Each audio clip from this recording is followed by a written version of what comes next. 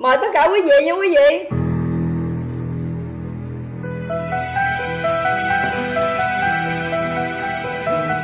Bữa nay quý vị phải nghe em nói nha quý vị. Mà em có lỡ có sai á Mà em nói á, là em nói thật nha quý vị. Bởi vì khi em sai là em nói thật nhất Và em được quyền sai. Em được quyền sai và lẽ ra em là một cái người là Lẽ ra em phải được thương yêu rất là nhiều Và em hy sinh rất là nhiều. Nhưng mà em không ngờ là cái sự hy sinh của em Bị dẫm đạp quá nhiều Cho nên em phải nói về là rất là đau lòng Bà Nguyễn Phương Hằng đối diện với hình phạt nào? Bị khởi tố theo Điều 331 Bộ Luật Hình sự năm 2015, bà Nguyễn Phương Hằng đối diện với hình phạt cao nhất có thể lên đến 7 năm tù giam. Như đã đưa tin, tối 24 tháng 3, cơ quan cảnh sát điều tra công an thành phố Hồ Chí Minh đã khởi tố vụ án, khởi tố bị can, lệnh bắt bị can để tạm giam và lệnh khám xét đối với bà Nguyễn Phương Hằng, sinh năm 1971, thường trú 17 đến 19 Ngô Đức Kế, phường Bến Nghé, quận 1, Tổng Giám đốc Công ty Cổ phần Đại Nam, về tội lợi dụng các quyền tự do dân chủ xâm phạm lợi ích của nhà nước, quyền, lợi ích hợp pháp của tổ chức, cá nhân, quy định tại Điều 331 Bộ Luật Hình sự. Theo thông tin mới nhất từ cơ quan điều tra, bị can Nguyễn Phương Hằng đã lợi dụng sức ảnh hưởng của bản thân, sử dụng chức năng của mạng xã hội trên Internet, tổ chức nhiều buổi phát trực tiếp nội dung thông tin không kiểm chứng liên quan đến đời tư của người khác trong đó sử dụng những ngôn từ mang tính chất nhục mạ, xúc phạm danh dự, nhân phẩm. Quá trình điều tra, Nguyễn Phương Hằng không hợp tác, coi thường pháp luật, nhiều lần tổ chức tập trung nhiều người đến nhà riêng của các cá nhân có mâu thuẫn gây mất an ninh trật tự tại địa bàn thành phố Hồ Chí Minh và các địa phương khác. Trao đổi với phóng viên báo Công lý, luật sư Diệp Năng Bình, trưởng văn phòng luật sư Tinh thông luật cho biết, đối với tội lợi dụng các quyền tự do dân chủ xâm phạm lợi ích của nhà nước, quyền và lợi ích hợp pháp của tổ chức, cá nhân thì mức phạt tù cao nhất lên đến 7 năm. Cụ thể, theo Điều 331 Bộ Luật Hình sự năm 2015, sửa đổi bổ sung năm 2017 quy định về tội lợi dụng các quyền tự do dân chủ xâm phạm lợi ích của nhà nước, người nào lợi dụng các quyền tự do ngôn luận, tự do báo chí, tự do tín ngưỡng, tôn giáo, tự do hội họp, lập hội và các quyền tự do dân chủ khác xâm phạm lợi ích của nhà nước, quyền, lợi ích hợp pháp của tổ chức, cá nhân thì thì bị phạt cảnh cáo, phạt cải tạo không giam giữ đến 3 năm hoặc phạt tù từ 6 tháng đến 3 năm. Phạm tội gây ảnh hưởng xấu đến an ninh, trật tự, an toàn xã hội thì bị phạt tù từ 2 năm đến 7 năm. Mời tất cả quý vị nha quý vị.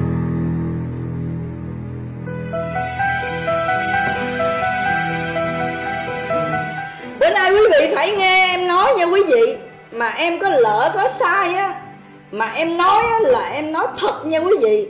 Bởi vì khi em sai là em nói thật nhất Và em được quyền sai. Em được quyền sai và lẽ ra em là một cái người là Lẽ ra em phải được thương yêu rất là nhiều Và em hy sinh rất là nhiều. Nhưng mà em không ngờ là cái sự hy sinh của em Bị dẫm đạp quá nhiều.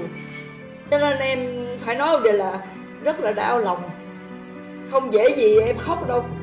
Nhưng mà đôi khi nước mắt nó cũng giúp cho em Vơi được phần nào em vơi. Có khi quý vị gặp em Năm nay, Rồi hết dịch rồi, Vợ chồng em sẽ rời khỏi Việt Nam, Không sống đây nữa vì không thể chịu đựng được những cái điều tàn nhẫn của những con người mà dẫm đạp lên đạo đức, dẫm đạp lên tất cả. Thì tại sao em phải cống hiến? Đó là sự thật. Bởi vì sao em là một người phụ nữ?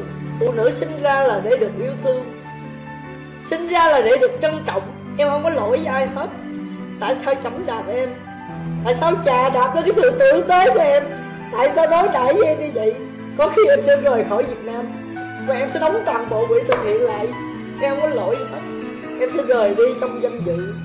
Đó là những gì em đã suy nghĩ một tuần lễ nay. Bởi vì em được sống thật với chính mình.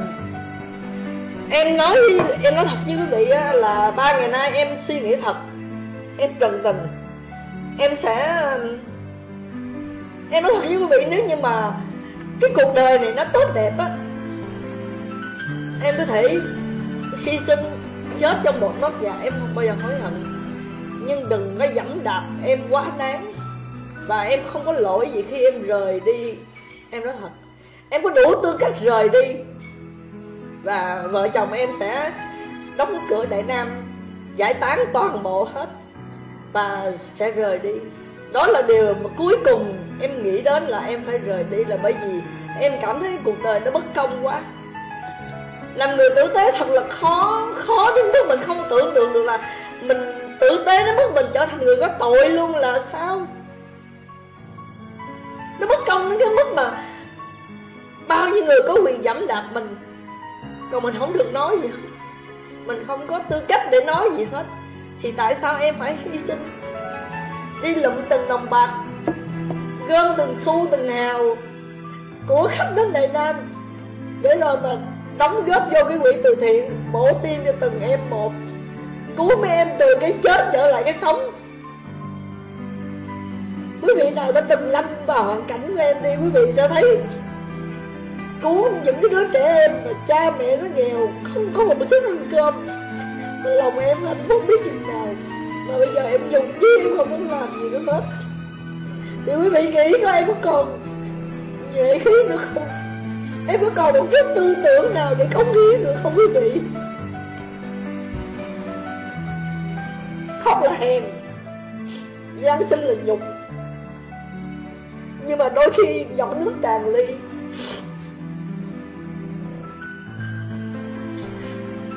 Giọt nước tràn ly quý vị.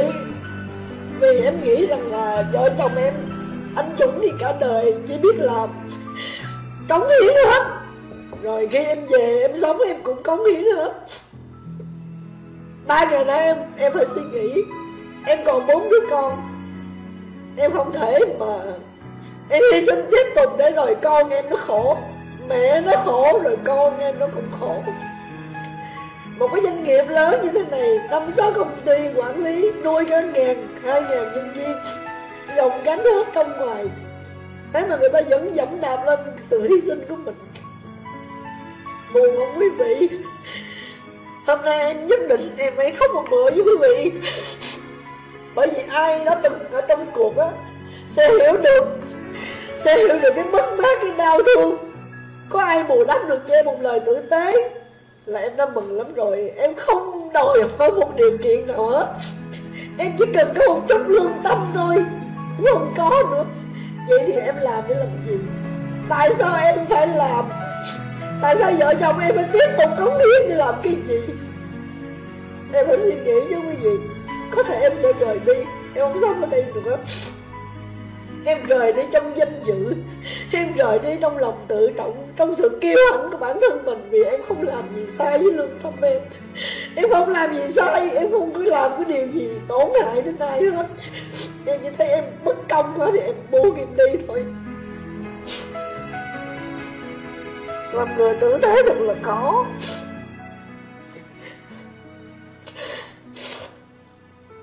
từ lúc mà quý vị thấy em bước chân lên, giao lưu đến bây giờ, chưa bao giờ mà em cảm thấy em ức lòng tới gì vậy. Và thật sự ra thì những đứa con em nó bị tổn thương quá nhiều, bởi vì mẹ nó là một người tốt. Thì bây giờ đăng ngược lại quý vị á, quý vị là em đó quý vị có còn muốn làm nữa không?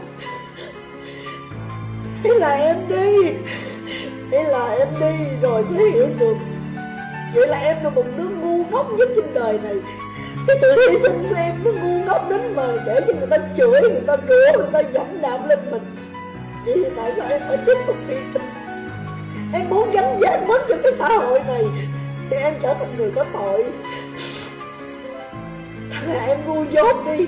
Em ngu si đi, em hưởng về mình. Em không quen làm chi? Rồi em oan cho nhiều.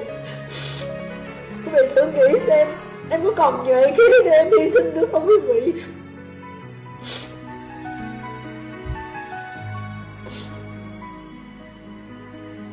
Em đã nghĩ rồi.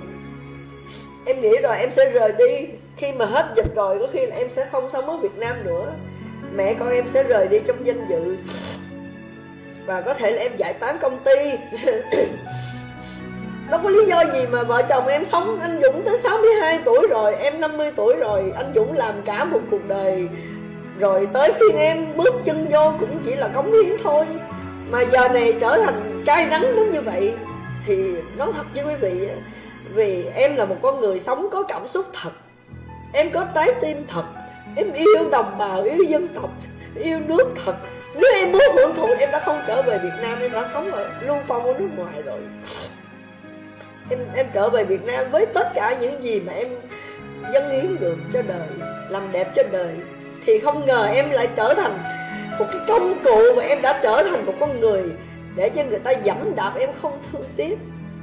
Nói thật với quý vị, hãy là em đi. Hãy thử là em đi. Từ cái nạn nhân này em trở thành một nạn nhân kia phải nói là em không hiểu tại sao cái cuộc đời này nó lại bất công đến như vậy. Phải nói là em hạnh phúc là khi mà cái thời gian gần đây rất rất là nhiều người thương em. Hiện là đang có 120.000 người theo theo xem trực tiếp trên đúng một kênh youtube của trường đua đại nam. Thì quý vị đã thương mến em rất là nhiều. Em rất là phải nói là con người em có máu anh hùng. Một khi mà đã chơi là không bao giờ chạy và đã hết lòng hết dạ thì em môi thớt tim gan ra để em cống hiến em không bao giờ buồn. Nhưng thật sự em rất buồn. Nói thật với quý vị con người ta nó tới một cái ngưỡng và khi nó đi quá giới hạn rồi thì đôi khi nó lại như vậy. Em nói thật với quý vị tại vì em không phải là lợi ngu dốt. Em tử tế chứ không phải ngu dốt. Đó, cho nên em em nói thật với quý vị rằng là có khi sau một cái trận đại dịch như thế này? Ổn định rồi thì vợ chồng em có khi là rời đi. Vì tụi em cũng quá mệt mỏi rồi. Cho cũng có tội, giúp cũng có tội, cũng bị học sách, cũng hỏi mày cho thiệt hay cho giả? Tài sản có được thì nói đi lừa đảo buồn quý vị. Kiểu gì cũng sống không nổi hết. Chỉ có đi làm từ thiện thôi mà cũng có tội nữa, quý vị ơi. Mời tất cả quý vị nha, quý vị.